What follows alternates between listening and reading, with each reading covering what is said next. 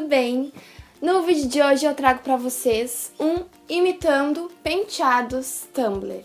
Gente, vocês me pediram muito pra eu fazer vídeos imitando fotos Tumblr. E aí eu pensei, gente, eu vou fazer imitando penteados Tumblr. Porque a gente ama penteado aqui, né? e se a gente começa a procurar no Tumblr penteado, é um mais lindo que o outro, dá vontade de fazer todos, em várias inspirações. Então, gente, eu pensei em trazer pra vocês várias opções de penteados Tumblr e claro, com certeza, se vocês quiserem, eu posso sim fazer o vídeo imitando fotos Tumblr. Então me contem aqui nos comentários, mas no vídeo de hoje vai ser um imitando penteados Tumblr, certo? E é isso, amores! Antes de começar o vídeo, não esquece de se inscrever para receber os próximos e ativar o sininho para receber notificação toda vez que eu postar um vídeo novo aqui no canal. E também de me acompanhar nas minhas redes sociais que vão estar na descrição do vídeo. E é isso, vamos lá começar! Primeira opção de penteado. Gente, eu tô apaixonada nesse penteado. Muito princesa. Para fazer esse penteado, a gente vai começar Repartindo o cabelo ao meio não precisa ser perfeitinho. O legal desse penteado é realmente que ele é mais bagunçadinho. E a gente vai separar as mechas da frente e vai fazer uma trança de cada lado. Então eu tô trançando a primeira trança. E a gente tem que fazer essa trança até chegar na parte de trás da cabeça. Então depois é só medir se a trança tá certinho até a parte de trás da cabeça. E daí a gente prende com elástico por enquanto.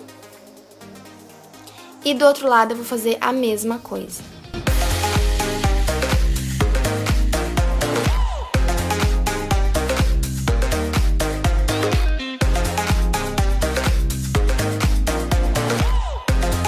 Feito as duas tranças, a gente vai juntar elas lá atrás da cabeça, vai soltar os elásticos e com as duas tranças juntas, o comprimento que sobrou que não tá trançado, a gente vai fazer um coque, então a gente vai enrolar todo o cabelo.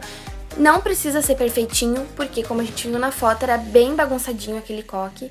Então só enrolem todo o comprimento e prendam com elástico. Não se prendam muito em fazer perfeito. E se vocês preferirem, ainda podem fazer alguns cachos no comprimento dos cabelos para ficar igual o penteado da foto.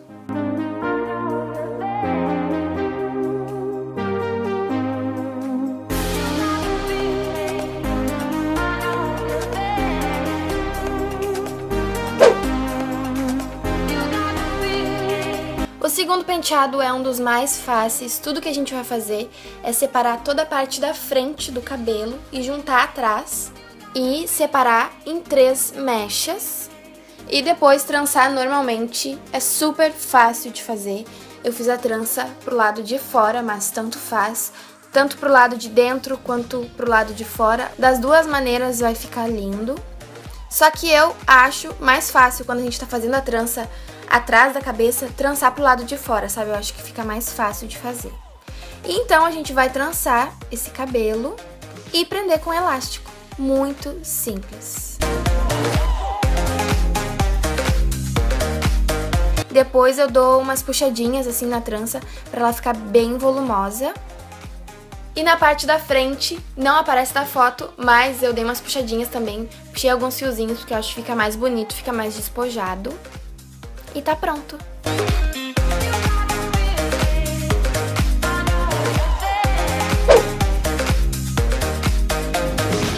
Próximo penteado, a gente vai repartir bem certinho o cabelo ao meio e vai fazer um rabo de cavalo de cada lado da cabeça com essas duas partes.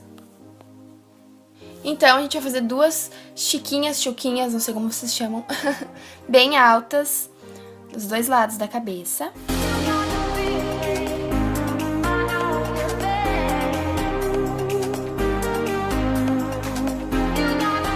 E, gente, eu me senti tipo uma criança gigante com esse cabelo. em seguida, olha só que fácil. A gente vai enrolar o comprimento e vai fazer um coque de cada lado e vai prender com mais um elástico. É muito fácil.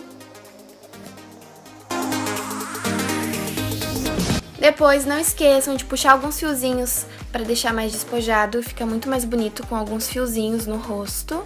E tá pronto! A pessoa se empolgou, pegou até um óculos pra ficar ainda mais parecido com a foto. Fiz quase um imitando fotos Tumblr.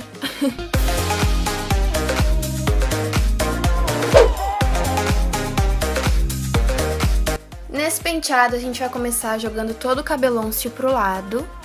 E aí, a gente vai pegar a parte da frente ali da franja e vai fazer uma trança embutida. Gente, é muito simples, tá? Eu vou explicar pra vocês. A trança embutida, a gente vai começar com uma mechinha bem pequenininha. E a gente vai separar essa mecha em três.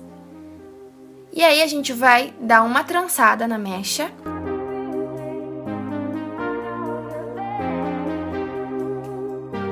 E na próxima trançada, a gente vai acrescentar mais um pouquinho de cabelo dos dois lados, das duas laterais da trança, e vai juntar na trança.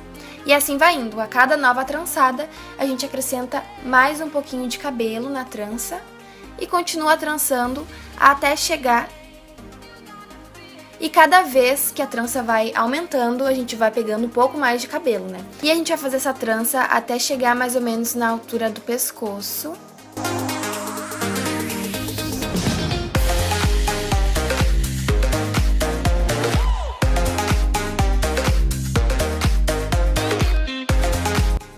E depois a gente vai juntar tudo isso em um rabo de cavalo, um rabo de cavalo mais baixinho, e vai prender com elástico. Depois eu baguncei bem o rabo de cavalo para ele ficar mais volumoso e também dei umas puxadinhas na trança para ela aparecer mais ali no penteado, né? Para ela ficar mais volumosa também.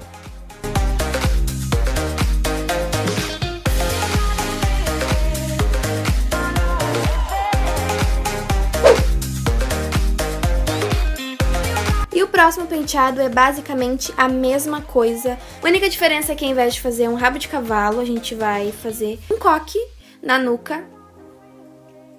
E prendi com elástico. E a gente vai puxar mais fios, então a gente vai puxar bastante fiozinhos para ficar bem bagunçadinho. Pode puxar tanto ali da nuca quanto na frente, pode puxar bastante fios e pode bagunçar também esse coque e o penteado tá pronto.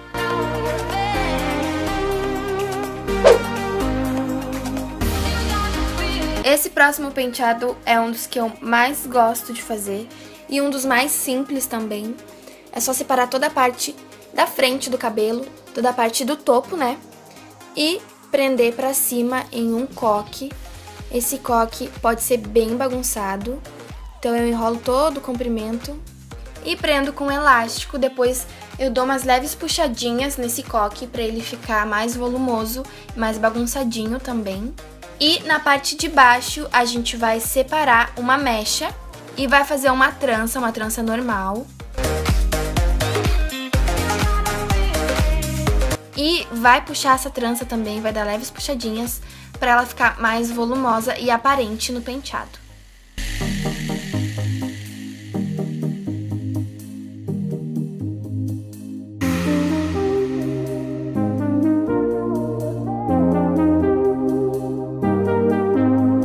Isso, meus amores. Espero muito que vocês tenham gostado dos penteados e do vídeo. Se vocês gostaram, deixem aquele like e se inscrevam no canal, ativem o sininho. E, gente, muito importante deixar o like, porque, primeiro, eu vou saber que vocês gostaram do vídeo. E, segundo, que vocês gostando do vídeo, eu vou fazer mais vezes. Então, não esqueçam o like, certo? Vou dar até um tempinho pra vocês clicarem nele. Deu? Certo. Também não deixem de comentar aqui abaixo qual dos penteados foi o favorito de vocês e de me acompanharem nas minhas redes sociais que estão aparecendo na tela e também estão na descrição do vídeo. Muito importante, não esqueçam de me acompanhar no meu Instagram, que por lá tô sempre postando fotos, sempre conversando com vocês, tá bom? E também todas as informações, perguntas, tudo eu faço por lá, então é importante vocês me acompanharem por lá também. E é isso, um beijão Fiquem com Deus e até o próximo vídeo. Tchau!